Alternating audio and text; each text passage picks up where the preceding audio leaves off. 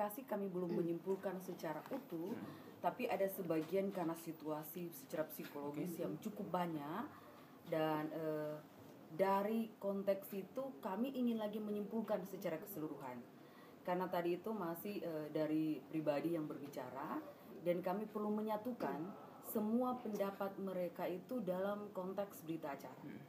Nah, sehingga kami akan menyimpulkan apakah mereka itu memang buat berita acara kemarin itu karena memang maunya sehingga punya cantolan hukum yang tepat atau karena eh, apa ya, dalam situasi psikologi yang diciptakan membuat mereka tertekan. Nah, itu yang kami butuhkan sekarang ini untuk mencermati itu. Sehingga malam ini juga eh, harus ada kesimpulan tepat untuk kami sampaikan kepada KPU. Oke, sean- Eh, KPU itu punya rambu-rambu yang jelas Oke. bahwa bekerja berdasarkan aturan main dan on the track. Penyelenggara pemilu itu harus punya integritas. Kalau dia bekerja sesuai aturan, saya pikir dia benar-benar mempunyai integritas. Dan kami ingin memastikan semua yang dilakukan itu, semua tahapan itu seperti Oke, tapi kan ada ada kemungkinan bahwa ini upload tidak sesuai dengan norma yang seharusnya karena eh, berada bawah tekanan. Artinya ada kesalahan dong. Nah, kesimpulan akhir itu yang belum bisa saya simpulkan malam ini karena harus dalam rapat pleno.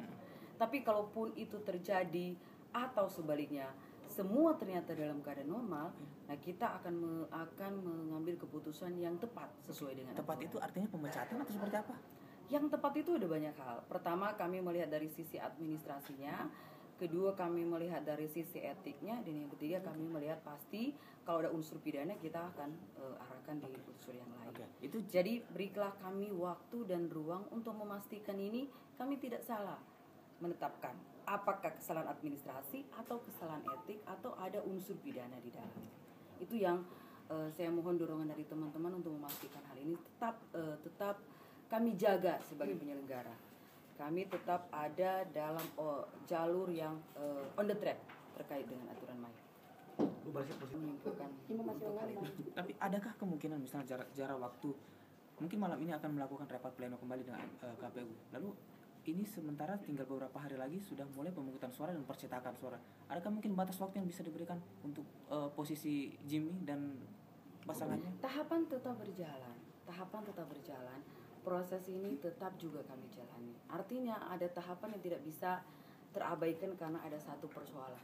Tapi pasti kami memastikan bahwa persoalan ini harus clear, harus selesai, harus punya kepastian hukum. Itu yang paling penting. Kapan itu? Nah, Adakah kalau estimasi waktu? dikatakan kapan, eh, tidak ada batasan waktu Oke. yang eh, strike seperti di Bawaslu 12 hari, Hmm. 14 hari itu tidak ada seperti itu. Tapi kami ingin memastikan logistik yang kami kirim itu tidak terpengaruh. Kalaupun ada berarti kami harus memastikan lagi eh, koordinasi itu tetap jalan. Jadi kalau saya cepat selesai di sini berarti plenonya cepat selesai.